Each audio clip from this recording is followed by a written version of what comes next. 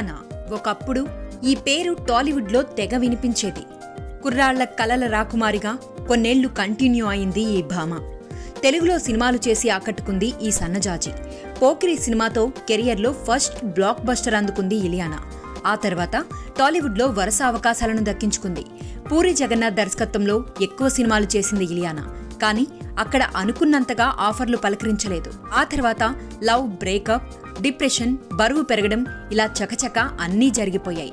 ఆ తర్వాత తెలుగులోకి రీఎంట్రీ ఇచ్చినప్పటికీ అది వర్కౌట్ కాలేదు.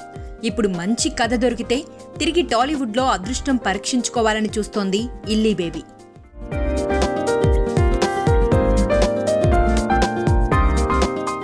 టాప్ నైన్ న్యూస్ ప్రతిరోజు రాత్రి తొమ్మిది గంటలకు మీ టీవీ నైన్లో నంబర్ వన్ మాత్రమే కాదు అంతకు మించి